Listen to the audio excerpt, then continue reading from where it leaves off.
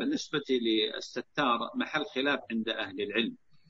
فمن أهل العلم من ذهب إلى أن الستار اسم من أسماء الله جل وعلا. ويذكرون في هذا حديث لكنه حديث ضعيف. لا يصح. حديث الذي جاء في السنن ذكر الستار وهو لا يصح.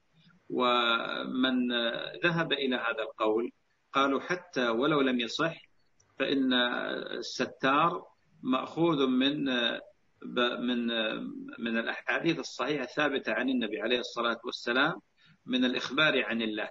وهذا الفريق من أهل العلم يجوزون قضية التعبد باسم بالأسماء التي يخبر فيها عن الله. والقول الثاني وهو القول الراجح الصحيح أن الستار ليس من أسماء الله الحسنى وإنما الثابت الستير.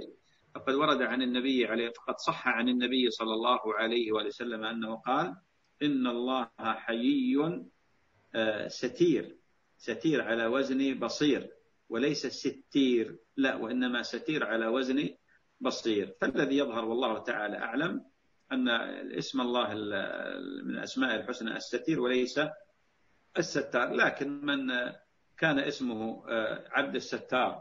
ويعني لا يستطيع الآن تغييره إلا بمشقة الذي يظهر لي بأن يترك هذا خاصة وأن أهل العلم لا يشددون في مثل هذه الأسماء.